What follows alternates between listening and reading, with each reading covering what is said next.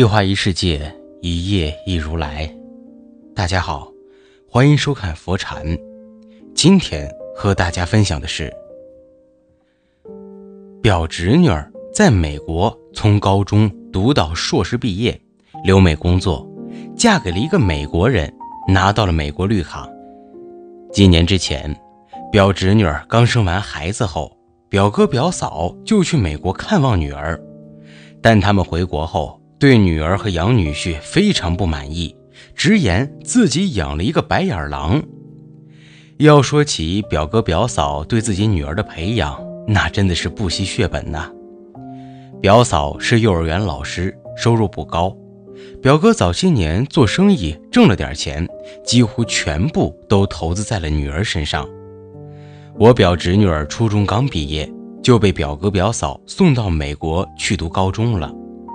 高中毕业之后，表侄女儿考上了美国一所不错的大学，后来研究生成功申请到了美国藤校，在美国读了十年书，毕业后留美工作，被一家世界五百强公司录取。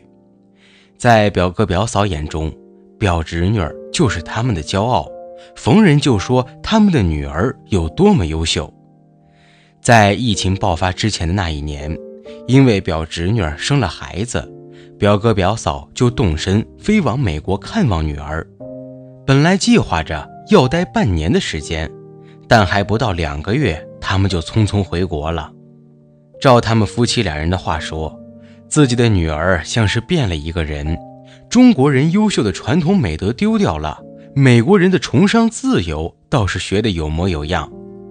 这究竟是怎么回事呢？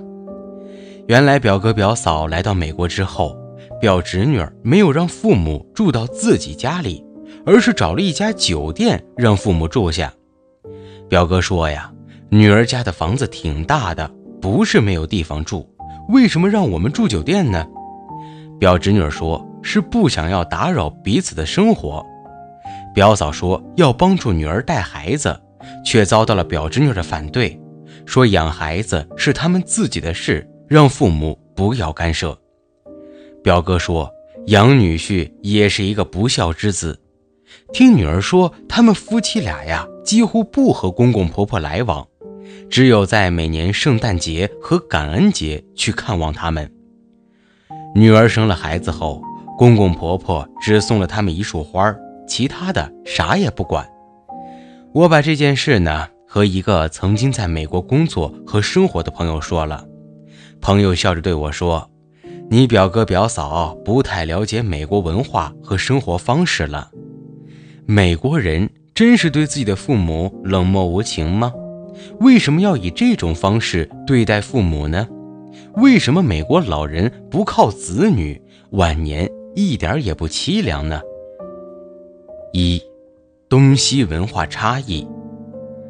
中国人的传统文化是养儿防老，中国父母会为了孩子倾尽所有，孩子长大了，操心他找工作、找对象，帮他筹办婚事，给孩子买车买房，为他带孙子孙女儿。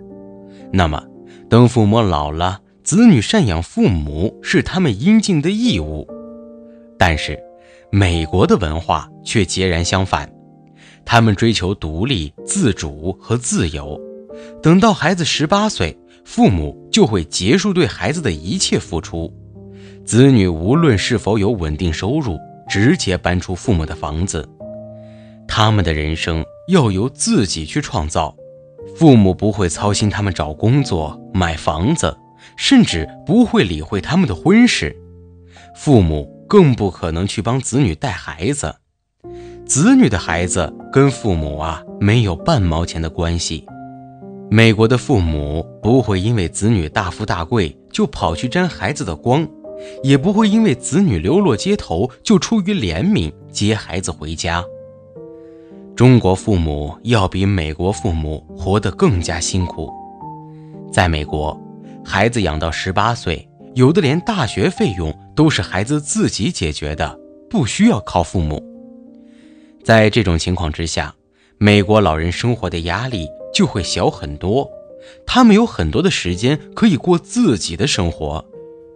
出去旅游也会有一定的积蓄，有能力买养老保险，老了以后可以去养老院。而中国的很多老人必须靠子女来养老，那是因为他们这一辈子的积蓄都用来供孩子上学，给孩子买房、结婚，到最后还要帮着看孩子。普通中国老人一生的积蓄呀，几乎都花在了孩子身上，甚至可以说，他们这后半生基本都是为了孩子而活着。特别是很多农村的老人，他们年轻的时候根本就没有能力条件去买养老保险，他们所有的钱都花在给孩子读书、准备彩礼、结婚、房子，等到老了，自己没有经济来源，就只能靠孩子了。有很多年轻人在花父母钱的时候，觉得是理所应当的。而当父母老了，需要他们照顾，需要他们给父母钱的时候，就觉得万般委屈，就会开始说了：“你看人家美国人，老人都是靠自己，不靠儿女养老。”但是他们却忘了，美国人他们是不会给孩子操办婚礼，不会给孩子买房子的。美国的老人即便晚年没有孩子守在身边，也不会觉得凄凉。那是因为他们所有的老人都是这样过的，没有对比，所以就没有伤害。而中国老人则不同，中国大多的老人都是指望孩子养老的，看着别人家的孩子守着老人享受天伦之乐，而自己的孩子对自己却是不闻不问，自然就会感觉到凄凉了。中国的老人为孩子付出的太多了。这就是两个国家的文化差异。美国人的独立自主是渗透骨子里的，父母和孩子不会相互干涉，不会相互依赖。二，完善的养老制度体系。美国有一套成熟完善的养老制度体系，在美国人的理念中，老年人不是由子女来养老。而是应该由国家相关的部门负责老人的晚年生活。每一个美国人只要定期足额的交纳养老保险或者购买商业养老保险，那么每个人在年老的时候都完全可以依靠养老金来度过晚年生活。如果还有一定的积蓄，那晚年生活就更有保障了。美国老年人领取的养老金。只够维持基本生活，生活完全不能自理的老人可以进养老院养老，但是子女不会负担产生的费用。老年人会选择把房子卖掉，把卖房子的钱全部放进养老院里。美国的相关公益部门对独居老人的关怀力度是比较大的，定期会对其进行体检和帮扶。义工也就充当了子女的角色，因此，美国基本上是社会养老，和子女没有任何关系。美国人的养老福利机制好，完全可以代替子女的操心，有养老金和医疗保险，住在养老院有专人照顾，老人交给国家来养，年轻人可以有足够的精力去创造价值。这样一来，国家发达了，也会提高养老待遇，这样就形成了一种良性循环。子女可以来养老院看看父母，也可以不来，完全是自愿的，不会因为不去看望父母就成了不孝子女，没有任何道德绑架。如此完善的养老机制和医疗体系，美国人压根就不用担心自己的老年生活。三，私有财产不可侵犯。在美国，私人财产是不容侵犯的。老人的钱是前半生努力奋斗赚到的，而年轻人的财富是靠自己的辛苦得来的，都是各自的独有财产，谁都不可能无理由给对方钱。父母的钱是父母的，子女的钱那是子女的。父母就是在晚年穷透了，也不能向他们的子女要钱。子女如果想要父母的经济资助，不能是要钱，而是借钱。这笔钱还要还给父母。子女哪怕是在老人去世后继承了父母的遗产，也要用到老人认为要用到的地方。比如说，老人希望把钱拿去做慈善，子女就要按照老人要求去做，不能单独占有。美国人对待父母的方式，在美国，子女虽然没有赡养老人的义务，但是并不代表子女是冷血动物，不会报答父母的养育之恩。子女和父母分开居住，不经常来看望父母，但是现在通讯工具很发达，子女会用各种不同的方式和父母保持联系。比如打电话给父母，关心他们的身体健康，讲述自己的工作、生活、未来的计划等等等等。